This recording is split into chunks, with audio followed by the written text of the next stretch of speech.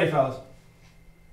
Three, two, one. Hi, I'm Lauren. And I'm Jelona. Welcome to Coffee Talk. Today we are here with Mr. Schnepp, our principal. So, where did you go to high school? I went to Minnechaug in Wilbraham. What sports did you play? I played football, basketball, and baseball. And uh, What positions? I played uh, in football. I played quarterback. In basketball, I played point guard. And baseball, I was third base. What jobs did you work at before being a principal? Uh, I was at a private school for 20 years. Uh, I was a special ed major in college and went to AIC in college. And so I started off in special ed. Spent seven years as an assistant principal at that school, and then the last six years as the principal of the K through 12. And then I spent three years at the middle school here in town. And then uh, before principal, I was here for 12 years as the assistant principal. Uh, how does it feel to be the principal of Agawam?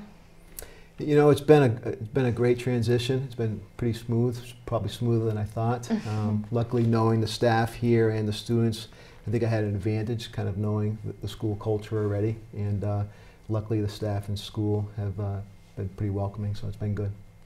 Does the job get stressful? Uh, like I said, so far so good. Um, some days a little bit more stressful, but uh, it- it's been it's been a good start. Do you plan on uh, making any changes to the high school? Well, you know, I've talked to Sadie a little bit, uh, the president of the senior class, and you know, we're looking at things of just having some more activities, a little bit more fun things to do. We talked about a laser tag uh, set up in the gym some night, maybe with a bounce house. I, you know, some of these things we're just talking about. Talked a little bit about maybe a possibility of a um, junior senior semi-formal in the gym, Yeah, kind of be break up the winter a little bit. Uh, been talking to, to someone about possibly doing a, an after um, prom party. So a lot of these things are just kind of just in the talking stages. I'm just trying to do more things with activities for kids. You know, trying to Yeah. do some things for seniors. We had the senior kickoff, just kind of a good way to start off the year. And, you know, having the seniors have courtyard privileges at lunch, just trying to give them a little bit more freedom. Um, why do we have parking stickers? Parking stickers help us to uh, just regulate ho- who's parking in the parking lot um, and how many students. We have only a limited amount of parking spaces, and so if we open it up to everybody, um, it, it gets pretty chaotic out there. And so um, it helps us. It helps us with the number of cars parked out there, and then we use the the parking fees to help uh, make improvements out there. This year we had 32 new cameras outside um, that we used the parking passes, parking fees to, to help with security, especially on the outside.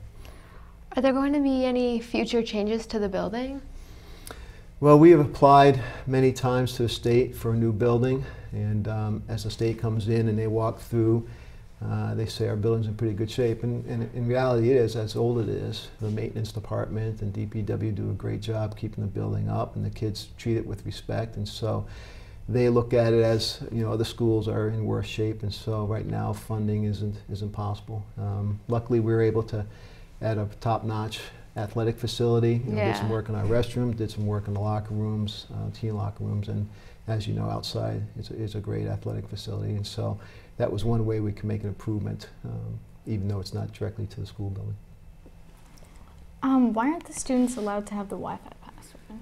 Well, we don't really see the need for it. It just uh, it, it uh, probably would give temptation to be uh, distracted and doing things and going places, checking Facebook and whatnot uh, during your school day. And so right now we don't really see the need.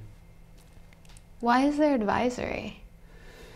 Well, a few years back, we did a student survey. We do student surveys every year. And one of the questions was, do you feel connected uh, to an adult in the building? And 80% felt they did, but still 20% didn't. And so advisory was a way to kind of have small groups working with a teacher over, you know, the four-year time, um, just talking about school issues or whatever, and uh, giving students an opportunity to have at least one adult that they feel like they can go to and be connected with. And what do you like most about the students of AHS? They're great kids, and uh, like I said, you know that kind of helped me uh, make a decision to, to become the principal, knowing the kind of quality kids we have, pe- people of character, you know. And so, for the most part, they're you know they're well behaved. Their their effort's great, and they're just they're, they're fun to be with, and so uh, just enjoy it because they're quality people. Well, thank you for joining us on Coffee Talk. Well, thanks for having me. We'll see you next time.